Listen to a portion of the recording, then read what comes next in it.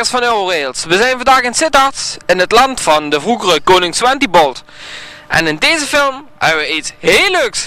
We zien de eerste keer in actie de montagewagen van de bovenleiding van de NS, gebaseerd op een Volvo vrachtwagen. Dat belooft een hele mooie film te worden, dus blijf kijken. Ja, en voor deze film waren we wederom vroeg uit te veren.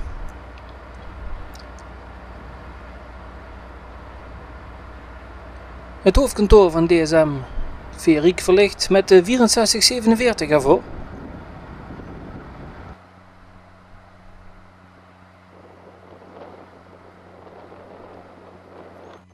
En vanuit de richting Maastricht komt de eerste Intercity binnen.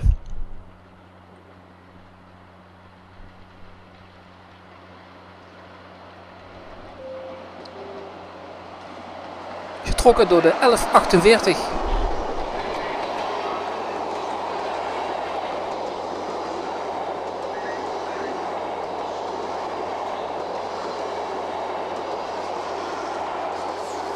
En toen was het nog vrij normaal dat in de intercities Plan Willems mee reden. Het station van Sittard?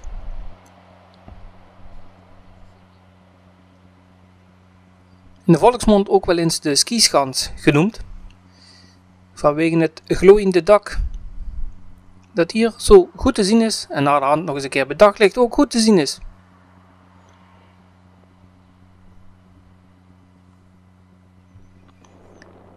De dageraad komt.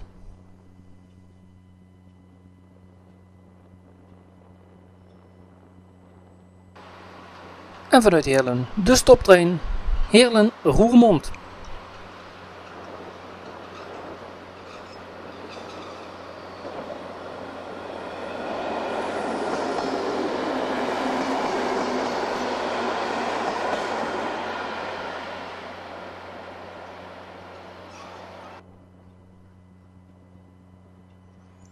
Het wordt weer een stukje lichter.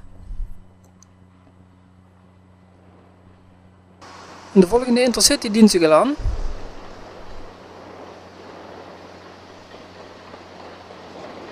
Ditmaal getrokken door de 1622.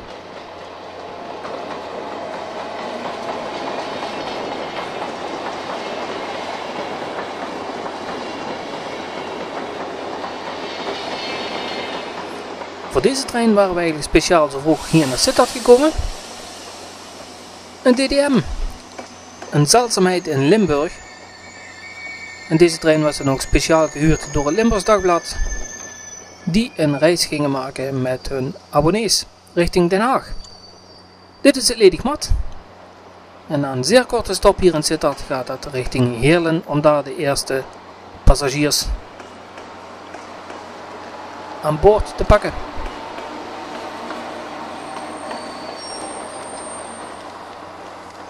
En de 1611 duwt. Het voormalige expeditieknooppunt van PTT Post, ook al lang verleden tijd. Het gebouw bestaat nog, maar PTT Post, dat is een ander verhaal. De volgende Intercity, getrokken door de 1301.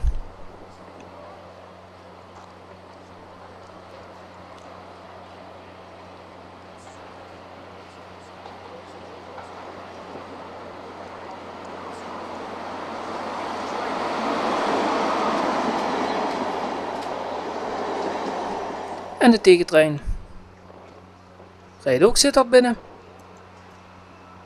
Met de 1637 ervoor. Die log is na de hand nog eens een keer bekend geworden doordat hij in het rood gespoeld werd voor NS Cargo. En daarna door NS Reizigers overgenomen werd als NS 1837.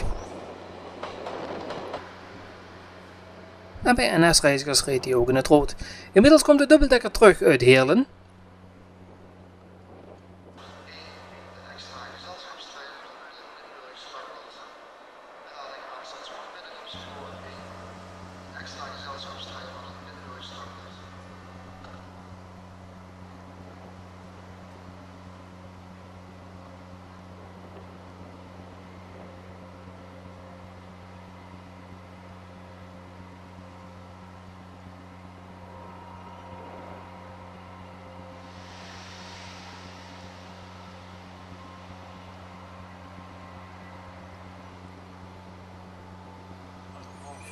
En bij een expeditieknooppunt van PTT Post hoort uiteraard een motorpost.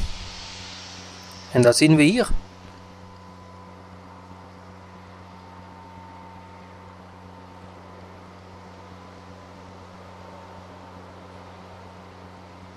Het is voor tijd voor de dubbeldekker om te vertrekken richting Den Haag met de abonnees van het Limburgs Dagblad aan boord.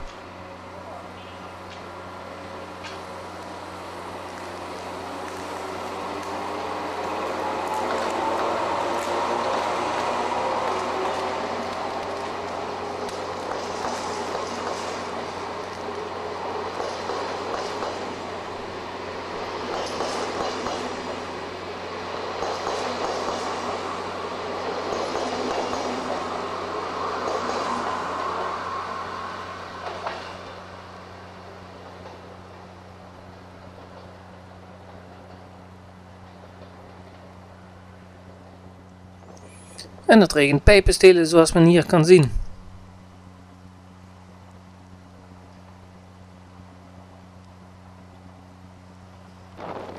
Inmiddels is al leven gekomen in de motorpost.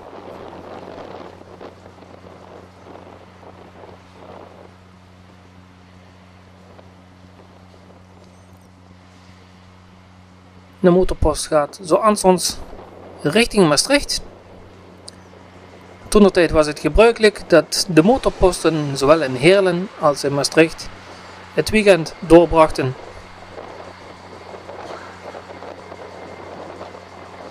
Maar deze hier gaat richting Maastricht.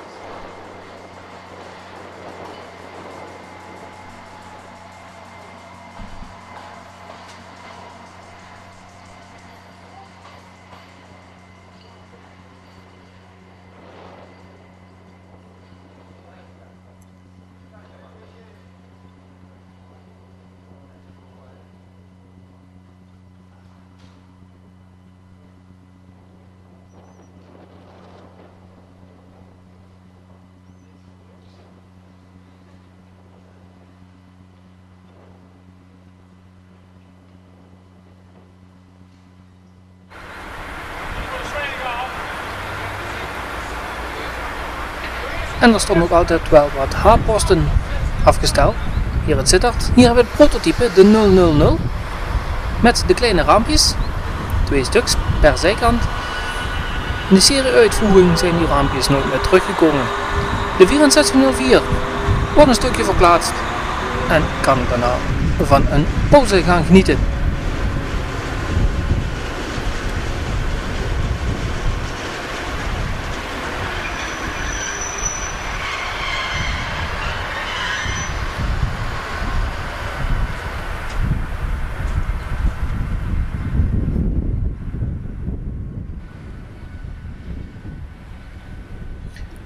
De 008, het grote voorbeeld van het Rocco model, ooit in half 0 en in spoor N uitgebracht.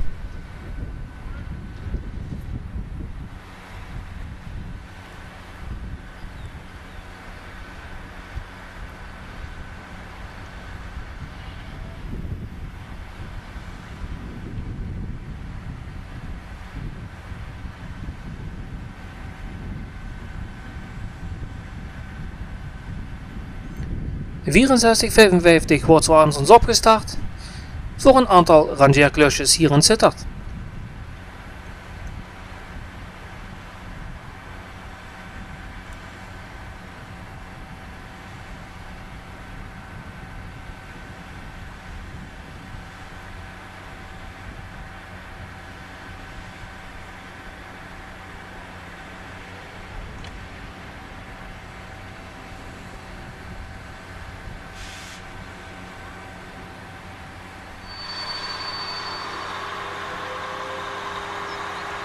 Als we heden de dagen deze film bekijken, dan ziet het best wel vreemd uit. Een 6400 met een groot NS-vignet nog.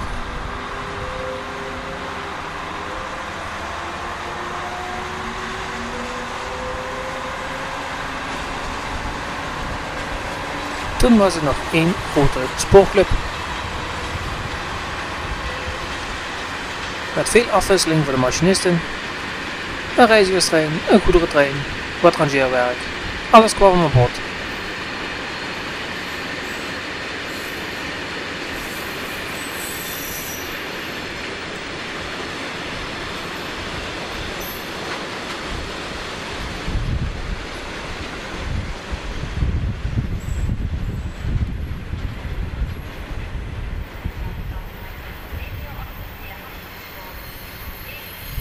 1994 kwamen ook veel koplopers nog naar Zuid-Limburg.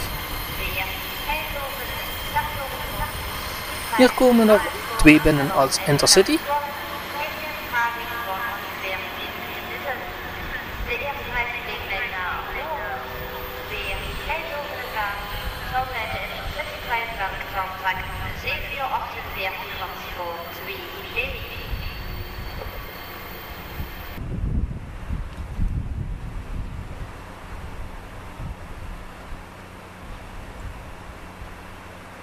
Na een korte stop gaat deze trein weer verder. Richting Heerlen deze keer.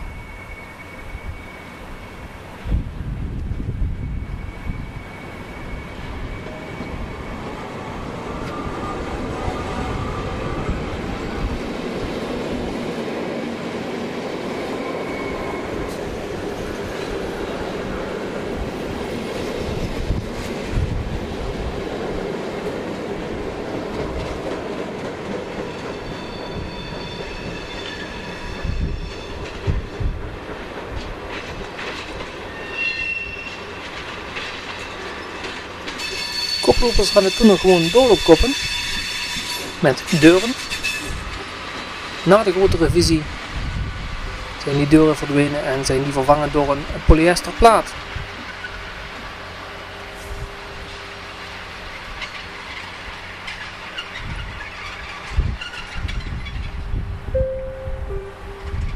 Dames en de sneltrein naar Roermond, weer Eindhoven met als eindbestemming Zwolle, heeft een vertraging van ongeveer 10 minuten.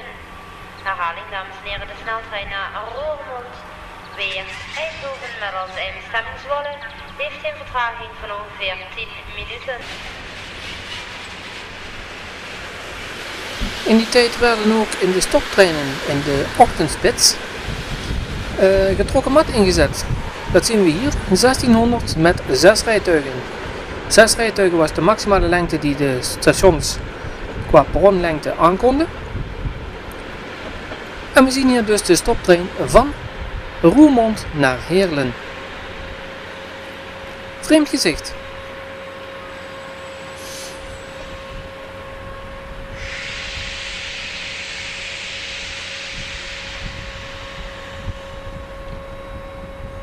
Vanuit Maastricht opnieuw een Intercity. Toen nog met bestemming Zandvoort aan Zee.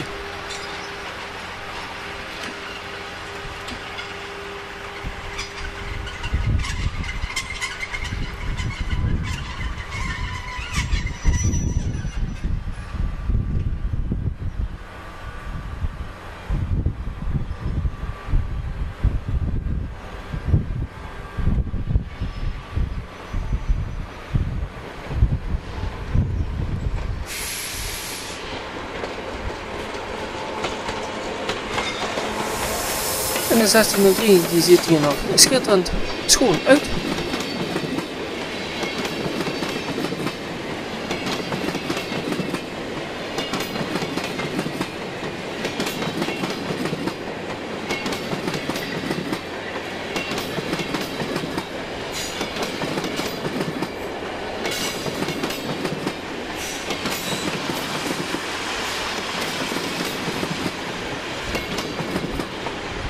En ook hier weer Plan Willems. Die meelopen in Intercities.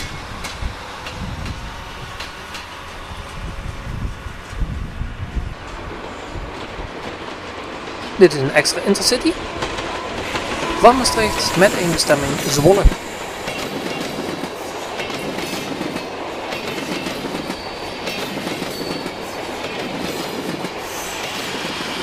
Toen ook standaard in de spits. Tegentrein wordt getrokken door de 1217.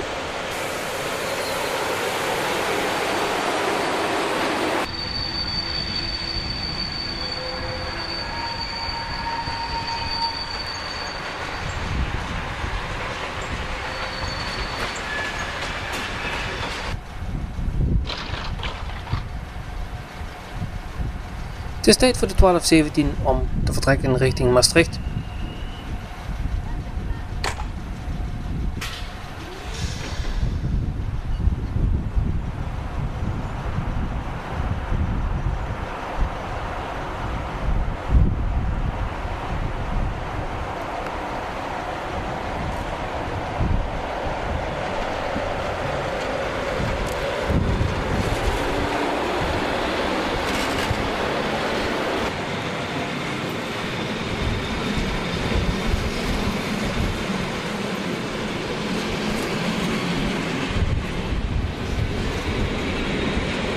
Stoptrein naar Heerlen vertrekt.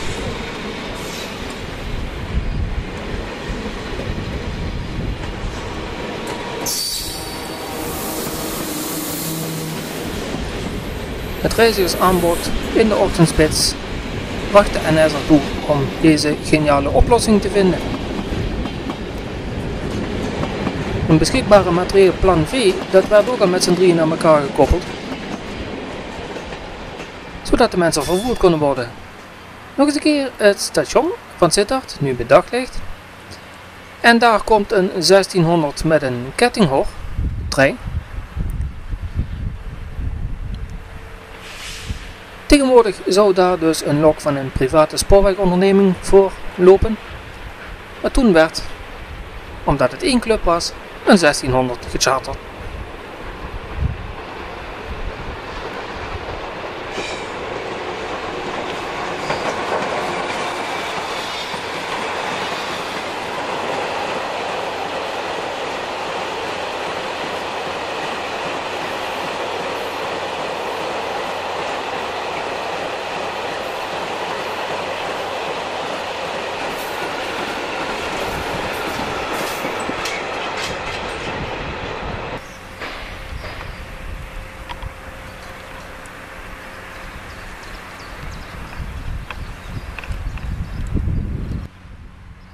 Opnieuw een koploper.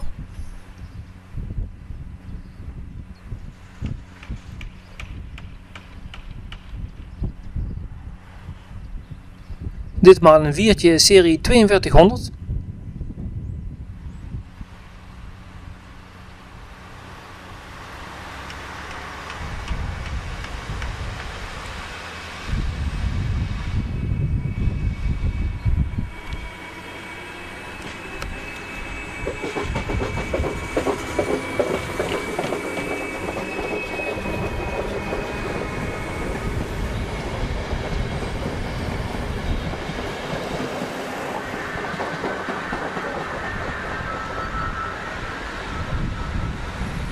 Waren dan de tussenintercities uit de serie 3500, die tegenwoordig ook nog rijden, maar dan op de relatie Maastricht-Schiphol in de ochtend- en avondspits.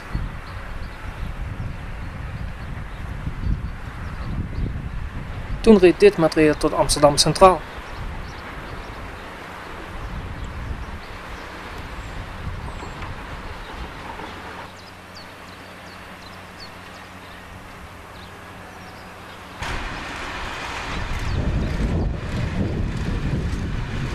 Er werd nog stevig gerangeerd in Sittard.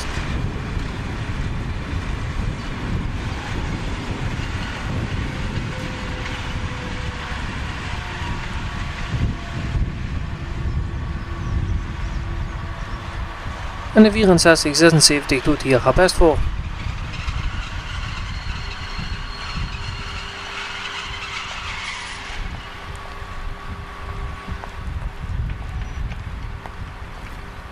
Eerder verteld, ook de stoptreinen die gevormd werden uit materieel plan V, reden met drie stellen gekoppeld. En hier zien we zo'n combinatie binnenkomen vanuit Roermond.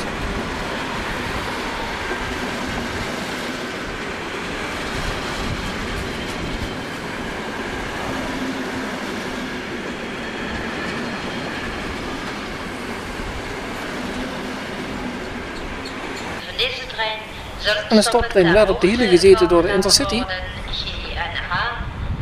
Dit keer getrokken door de 1211, de locomotief die het langst in het Berlijns blauw heeft gereden.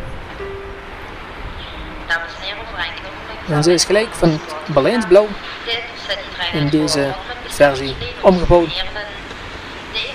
In Tilburg. Deze trein zullen stoppen ter hoogte van de letterborden H en G.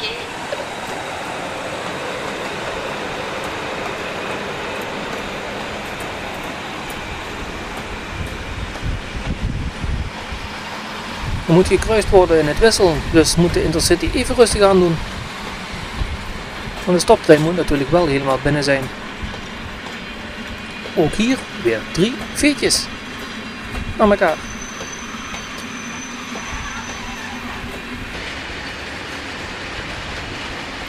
Tegentrain eveneens voorzien van een 1200, de 1205 in dit geval.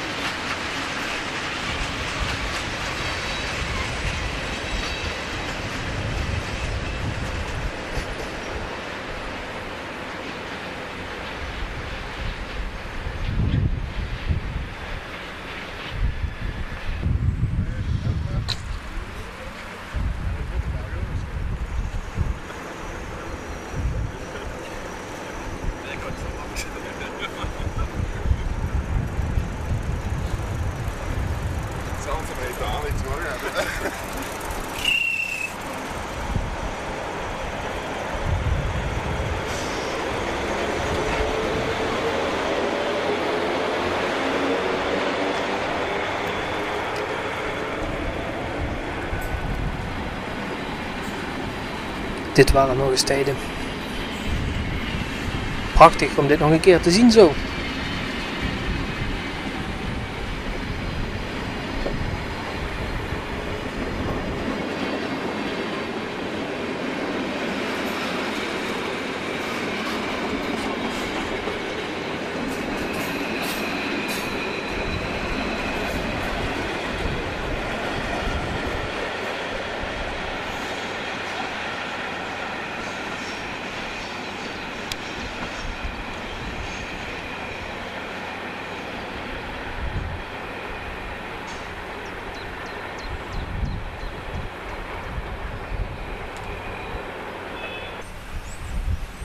En ditmaal gaat de stopper achter de Intercity aan, richting Roermond.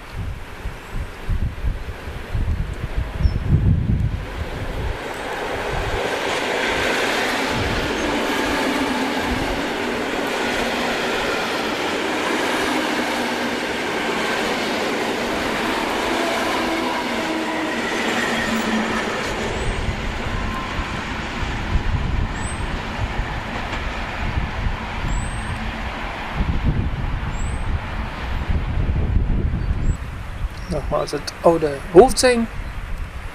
Bij het gebouwtje van Structon. De ochtendspits is zover eh, voorbij. En dan komen wat goederentreinen richting Sittard. Een gemengde goederentrein getrokken door een 1100.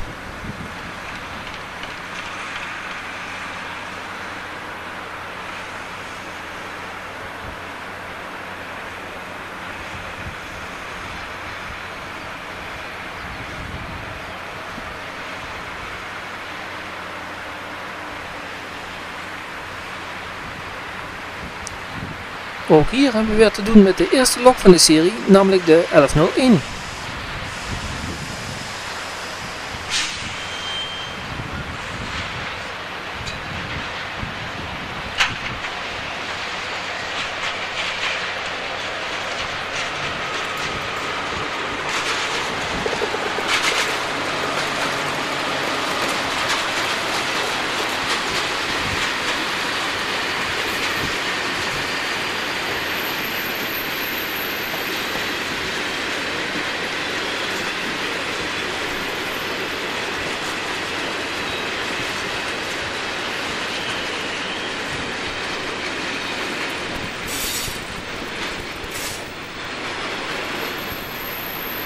Hier van allerhande vormen ketelwagens meelopen in deze trein. Dan het primeurtje, zoals reeds aangekondigd, de bovenleidingsmontage auto. Dan wel motorwagen, zoals u wilt, gebaseerd op een Volvo vrachtwagen.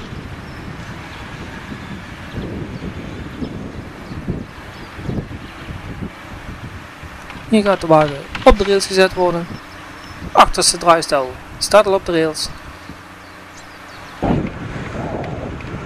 Nu tilt het voertuig zichzelf op en gaan de voorste wielen ook op een spoorbreedte van 1435 mm onder de wagen.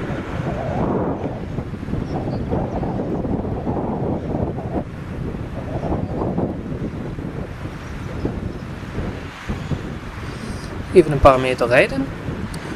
Alleen de vreemde wat u nu ziet is eh, de wagen rijdt vooruit, maar heeft de sluitzijden branden.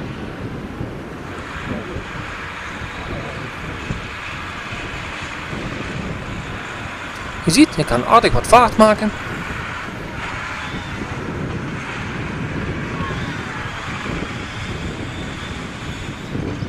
Achterop brandt het A-front zijn. We gaan even van rijrichting wisselen, de sluitzijde gaan, voorop aan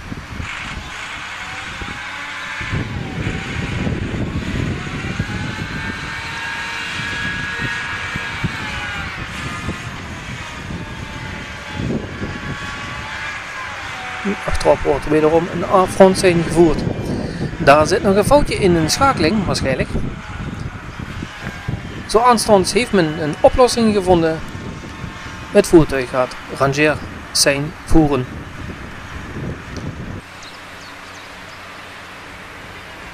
Tussentijd weer twee koplopers richting het westen van het land.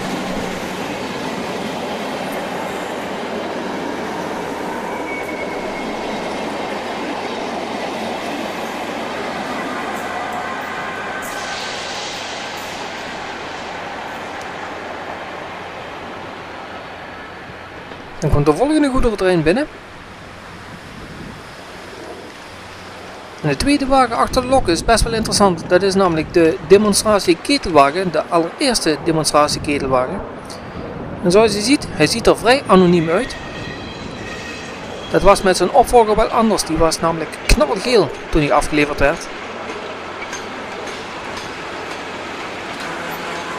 En toen de goederentak overging naar Relion, werd de, de demonstratieketelwagen uh, Relion rood gespoten.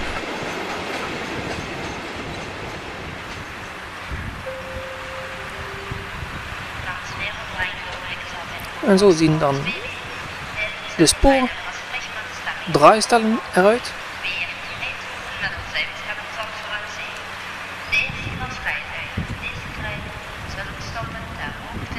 En uh, de wagen is origineel bedrukt, moet ik zeggen, aan de zijkant. Het hefplateau wordt ook even getest. En je ziet, nu brandt er slechts een rangeer zijn.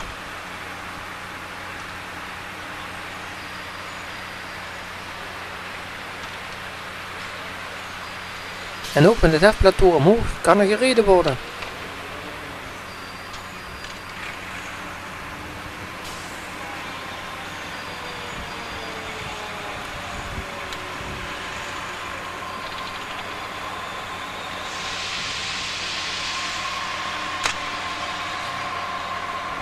Een voertuig wordt nu ook vanuit het plateau bediend.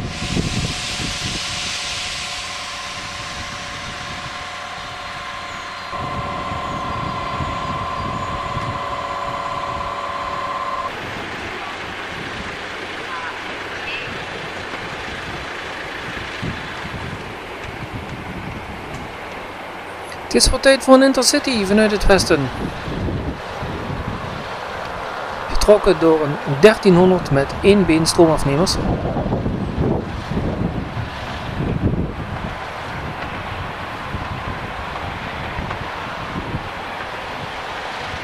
In dit geval de 1306 samen met de 1307 en de 1310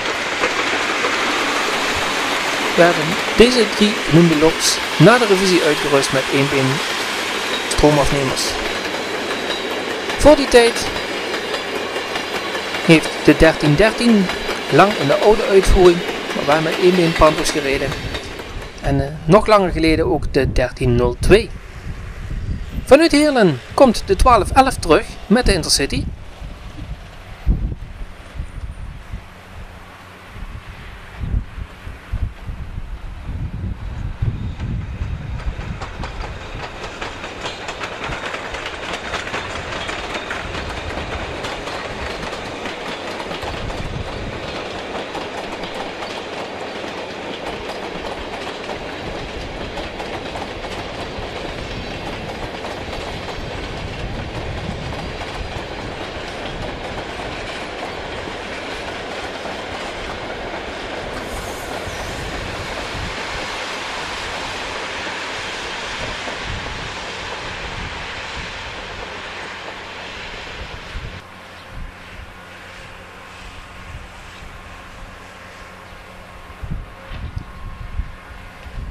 Vanuit Maastricht of vanuit Geleen Lutherade DSM. Komt de 6455 weer terug.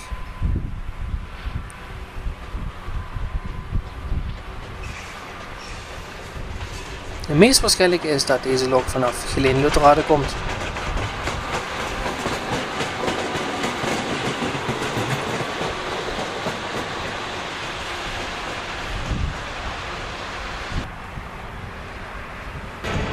1202 richting Heerlen.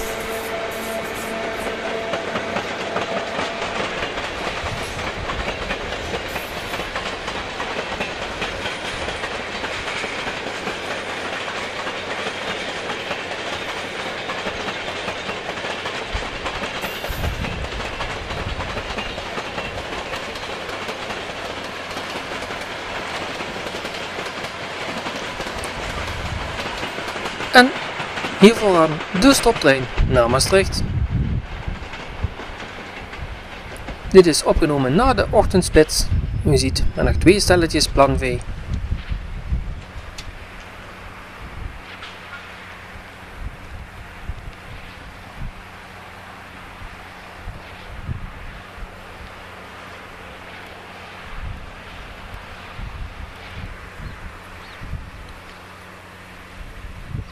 Het mannetje van alles, de 1100.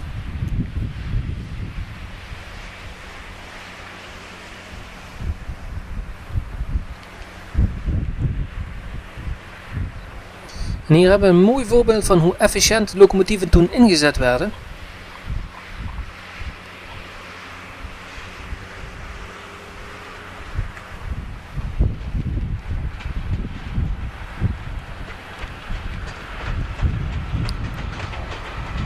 Namelijk deze 1101 hebben we al eerder in deze film gezien. Ze kwam toen binnen met een goederentrein. Ze heeft die goederentrein hier in Sittard laten staan. Is vervolgens als losse lok naar Maastricht gereden. Heeft daar de Intercity opgepikt. En komt nu weer richting Zandvoort gereden hier door Sittard.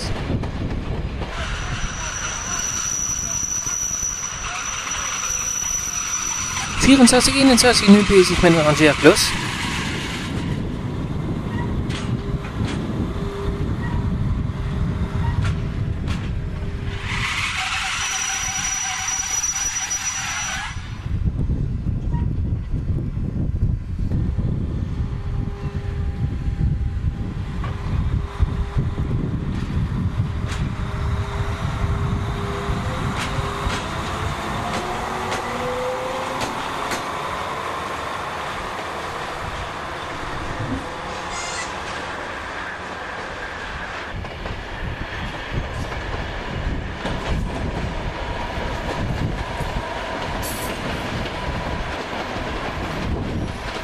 De stopper naar Heerlen en de T-trein, de Intercity naar nu voorzien van de 1138.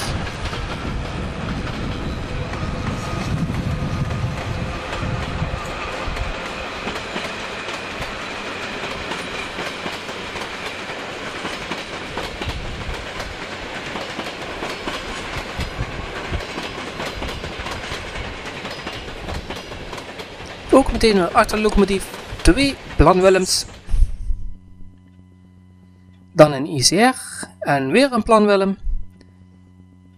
En met het vertrek van deze Intercity is deze aflevering van Eurorails bijna voorbij. Bedankt voor het kijken en graag tot de volgende keer. Tot ziens bij Eurorails.